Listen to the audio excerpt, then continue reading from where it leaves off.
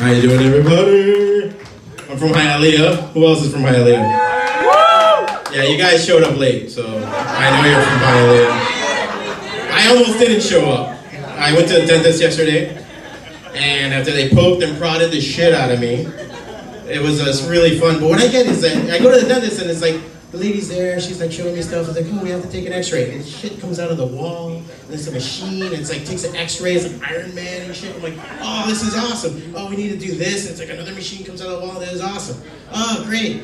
It's like, all right, now we have to extract the tooth. I'm like, all right. Fucking hammer and nails and just fucking beating the shit out of me. I'm like, what the fuck? Why? Like, why is this like? Where's the laser shit? No, they don't give a fuck. They just hammer the shit out of your teeth, pull it out. Okay, está bien. Okay, okay, está bien. Okay, and they just watch you outside. You're like there waiting for the Uber while you're bleeding out of your mouth. That's really great. Oh, what else happened? Fucking Chris Pratt got married. Who the fuck knows about that? Um, like Kathleen Schwarzenegger, Arnold Schwarzenegger's oldest daughter. The fucking Terminator is your stepdad. You know how bad that shit is? You know, one night she just comes in like, Daddy, he was so mean. Dun, dun, dun, dun. The, one eye just turns red. He still has the motorcycle in the garage and shit. Takes it out, fucking drives it. Of course, I'm such a fucking nerd that, you know, I started saying like, oh, well, then he'll turn into Star Lord, and then he'll start shooting shit at him, and it'll be awesome. That's a great fucking book, Star Lord against Terminator. What else? Uh, yeah, I'm recently single. I've been like a 13 year relationship, and uh, Yeah. Yeah. and I was like, yeah, I'm out of Shawshank. Woo! Um, and so because of that, once you get into the new world and you're like in there, you have to do all the shit that all your single friends told you for years. And you're like, oh shit, I can get on Tinder, I can get on Bumble, Go Fish, whatever the fuck. I mean, whatever you can. And you're just like, oh, cool. Like, all right, talk to this girl. Hey, how are you? You're in, interest. Okay, cool. Oh, you're Nathan? Oh, that's nice. Okay, great. And then it's like, oh, that's your asshole. And that's a picture of tits. And okay, all right, you want to get a frappuccino? Like, you don't know what to do after a while. You're like, all right. Everybody's just giving away, like, just pictures of the. And then you have to figure out how to do, like, a dick pic.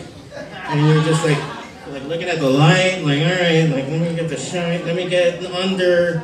If they get a lens, all right, like, just look like a monolith that way. If I get the light, just the right angle then the reality hits. And you actually go out with the girl, and she's like, it doesn't look like the same as the picture. That was a stunt double. Was a whole other guy.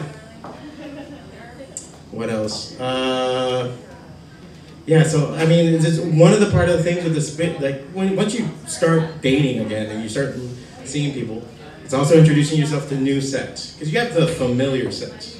Like once you've been with somebody for 13 years, you know, like, eh, eh, eh, and then that's it. But once you were somebody new, you don't know the eh, eh.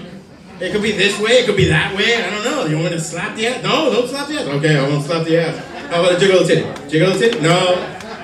Pinch the titty. Okay. That's all you got. That's all, all right. I'll just do that, and you have to learn a whole new routine, and it's not easy to learn a whole routine. And then there's other times you're like there, and there's like the one thing I had to get used to is the spitting on the dick. That was a whole new thing to me. Just like when they're like that, like cool. Like what the what the fuck is? It looks like a hostage situation. Like I'll never tell you where the secret base is. Cool. That you know, I'm like I don't even know. Like what the hell's going on? And you just go along with it. But in the end, it's one of those things that you start learning about other people and where they're coming from and what's going on. And then you see everybody's fucking problems and there are things. And nothing better than a girl's like, well, I'm divorced from this guy, but he's like just in prison for a little bit. He just murdered one guy. You know, he, might get out soon, but I'm like, I want to see other people. You're like, no. Get me the fuck out of here. I don't want to be here. What else? Uh, other than that, I mean, it's it's great to be out of there and be in free and be running around and learning new things and talking to people and everything else. But again, like sometimes it's like, all right, I was with a Venezuelan woman for many years. Who's Venezuelan here? That one guy who's like, yeah. All right. You know why people ran from your country? It's not because of communism. It's because of the women. All right. Or you know, because of other things. no, but it's really hard, man, because you start like you know dating other people and you start figuring out what they're doing and how they're. And I'm just a fossil. I'm like one of these animals that just got let out of the zoo, and they never talk about that guy. They always like let him out. Like look at Bobo, look at him. He's just going. He's just happy and he just goes off into the woods and he's just a happy guy. They don't check three hours later when he comes out of the woods and be like, what the fuck is this shit?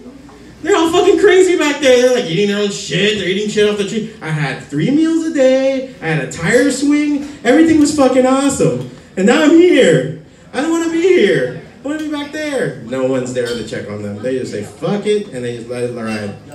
And that's where I'm at right now.